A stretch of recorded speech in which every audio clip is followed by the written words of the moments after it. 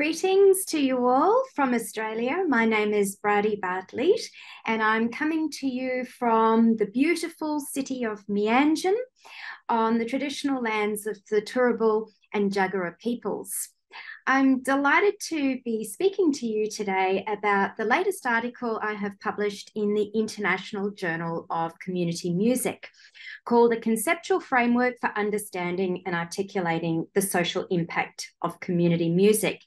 I've got the citation on screen right now, and I'm really pleased to say that it's open access, so it's free for all to download wherever you are in the world. I'm looking forward to hearing how people react to it, whether it resonates with them, whether they find it of use in their own practice or their research or their teaching, and looking forward to seeing how it might become a conversation starter in our field across the world. So, to tell you a little bit about this article and the impetus for why I wrote it and some of the ideas that I share in it, I thought I might tell you a little bit about the background to why I even decided to write it in the first place. Uh, for the past 20 years or so, I've had the great pleasure of working with many arts organisations, community organisations, not for profits, who are working in a range of really complex settings from remote communities to areas of entrenched disadvantage to prisons to health equity settings, also post conflict contexts. And in many of these complex contexts, they're looking at the ways in which community music can help bring about positive social outcomes, positive social change, and have a positive social impact in the areas where there's a lot of complexity, there's a lot of need, and there's a lot of challenge.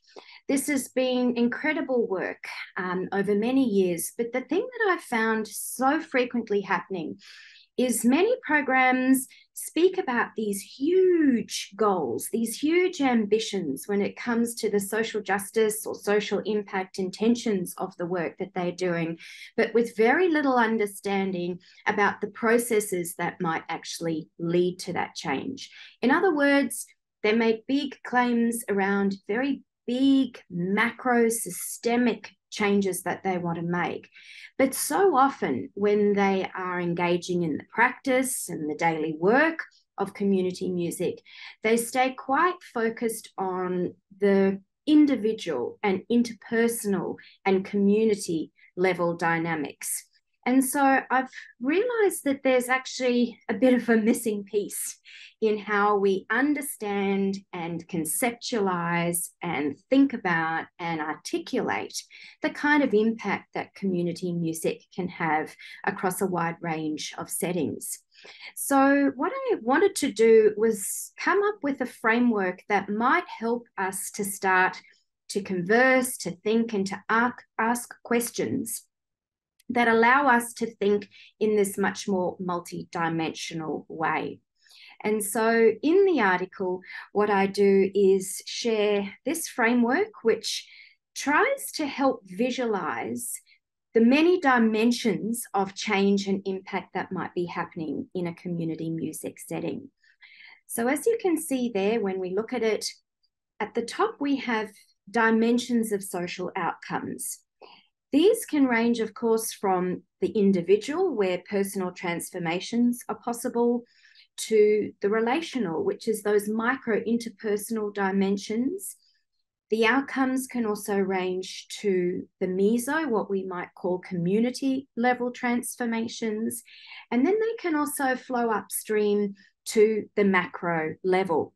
Now, these individual micro, meso, macro level uh, dimensions of change are frequently talked about when we look at social ecological models and say public health or education, arts evaluation, international development. And I think they provide a really useful framework for our field of community music to think from the small to the large. But the really important piece of this framework, of course, is the arrows in between, recognizing that this isn't a linear flow from the individual right up to the macro. Oftentimes, these are nested in with one another. So, those small micro changes can actually lead to macro changes, and they can also be embedded within community changes. And all of those things can be happening often simultaneously in a music program. The other aspect I speak about in this framework is what we call stages of impact. And you can see there in the framework, it recognizes that impact and change and positive outcomes in a community music program might happen immediately. Often that's those intrinsic sorts of outcomes the pleasure, the joy, the captivation that happens in the immediate moment of making music together. But then those stages of impact might also move to a more intermediate level or longer term impact. So, for example, you might have a, a program trying to raise awareness about gender based violence. In the immediate, you might just create that awareness. But when we start moving towards longer term change, we talk about maybe influencing audiences, telling stories that might then shape how policymakers think about the issue. And there they might actually make macro level changes to policies, to funding, to resources, to leave provisions, to a range of other things that might have a, a longer term impact on the issue. Then, of course, we can have degrees of change. And this might simply mean stasis often we don't talk about that in community music. We, we're so focused on what's the change, what's happening, what's happening in people's lives that's different from um, before because of their participation in this program.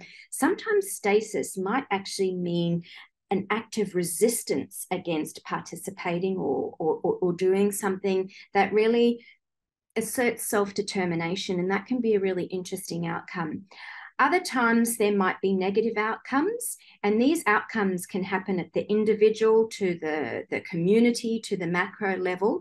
And I think it's a really interesting thing for us to think about in the community music field in terms of what those negative outcomes might be. So often, I think we're in the habit of positive reporting. We feel we need to share the good stories, the things that are going well. But there's a lot to be learned from thinking about what those negative uh, degrees of change could be. But then I've also outlined there that sometimes we have small degrees of change, and these can then lead to much more significant outcomes. I think so often when we're talking at that macro level, we can tend to overlook some of the really significant small changes that might actually accumulate, almost like an archipelago where multiple small changes and degrees of you know thoughts and understanding that might slightly shift around a particular issue and those small changes that happen in an individual's life or happen in a community life or maybe change the thoughts of a policymaker in a small way can actually then lead to quite significant changes. But so often, when we're talking about all of these things in community music, we're quite imprecise with how we talk about the dimensions of outcomes, how we talk about the stages of impact, and how we talk about the degrees of change. And what I'm trying to do in this framework is get us to think about all of these different dimensions, which of course are all shaped very much by the context where community music is happening. It's never happening in isolation and helps us to think about what are we actually trying to change here? Why? And how can we know whether we've actually achieved that change or not? So, you've heard me talking about the word impact, and impact is a really tricky word for our field to grapple with. There's this huge push internationally to understand the impact of research, the impact of practice research funding bodies not only ask for it, but also philanthropic organizations who might be funding a community music program. They want to know what kind of positive impact is this having. Uh, in the article, I talk about the rather problematic idea of impact, because if you think about the actual origins of the word, you're talking about a physical collision, a smashing of something into a stationary object at speed and with force. Now, just listening to those words, those do not resonate with how we try to think about practice in community music and research in community music. The kind of research that I do aims to be slow, it aims to progress over time, it aims to be relational, and it aims to be reciprocal where there isn't force, um, but it's something that we're doing mutually together. And so this concept of impact is really tricky. But as I say in the article, I'm trying to flip that. Um, so I'm not only thinking about impact on individuals per se, which is quite problematic, but I'm thinking about how community music can have an impact on larger systems that might be unfair and unjust, and how it can make an intervention on systems rather than people. So that's a different flip um, in terms of how we think about impact. But I think it's something that we do need to grapple with and we do need to problematize. This actually relates to the concept of ethics, and I talk about this in the article as well. Because, of course, when we're talking about having an impact and we're talking about trying to change communities, there's a really uh, tricky ethical uh, field here that we're having to negotiate. And I think in the past, our field has really had these rather uneasy narratives about this sort of salvationist community musician who comes into a community and provides opportunities for everybody to make music. But there's this sort of hero artist narrative in what we're talking about, where the assumption is that the communities that they might be going in to work with don't have culture, don't have strengths. They're in need of the community musician coming in and, and activating them. And so, what I really challenge in this um, this article is for us to think about this this this this mode of impact and this mode of, of of research and this mode of conceptualizing as working with the strengths that exist within communities to really harness the assets the creative assets the cultural strengths of what are already there and worth shining a light on rather than um, community musicians coming in and giving those things and then having a positive impact. So these are some of the, the issues, the thorny questions, the challenges that I raise in the article, all very much based from years and years of practice and research in many diverse contexts where I've seen uh, the need for us to get a lot sharper and a lot more precise about how we describe uh, what we're doing as researchers and as practitioners.